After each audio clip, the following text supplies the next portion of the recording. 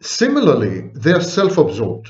Narcissism is an inability to maintain object relations. The only relationship a narcissist, any narcissist, truly have, truly has, is with himself. And since he doesn't have a self, he doesn't have a self, the narcissist has a relationship with his absence. I know this is mind-boggling.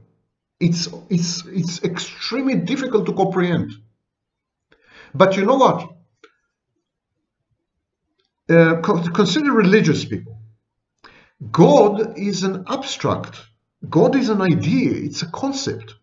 And yet religious people convert God into a presence. It's a delusional presence, but it's a presence.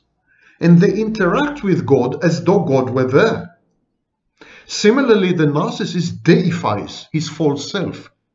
Narcissism is a religion, I keep explaining. So he deifies his false self and then he has a relationship with his false self that is akin to a religion.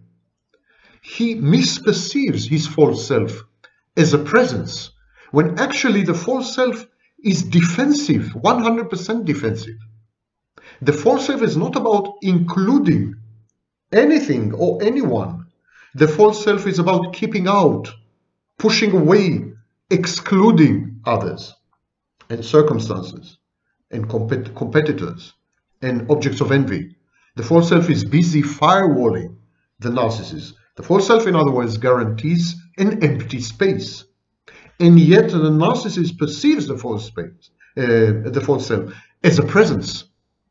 So he has a relationship, the only relationship and the only libidinal cathexis, the only investment of emotions that the narcissist is capable of, if at all, is in this emptiness. He is married to absence. And of course, because he has no true self to counter this absence, gradually he identifies with the absence. He becomes the absence. He merges with the absence and fuses. He has a codependent relationship with his false self. It's very intricate. And so the false self includes all the internal objects, including representations and introjects of the narcissist's intimate partners who had been internalized, interiorized. That's the snapshotting mechanism that I'm describing. Okay, so covert narcissists are also self-centered, of course, although in the absence of self, one could say they are centered around the absence of self. In their case, they're also envious, envious of overt narcissists and functional people. So in the case of covert narcissists, I would say that the relationship, the cathexis, is in the envy.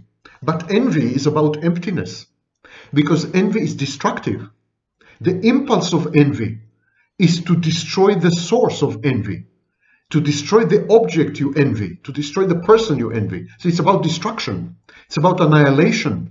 It's about disappearing and vanishing. It's about emptiness and absence. So while the overt narcissist interacts with emptiness and absence via grandiosity, he interacts with a fantasy, which is not there. The covert narcissist interacts with absence and emptiness via envy.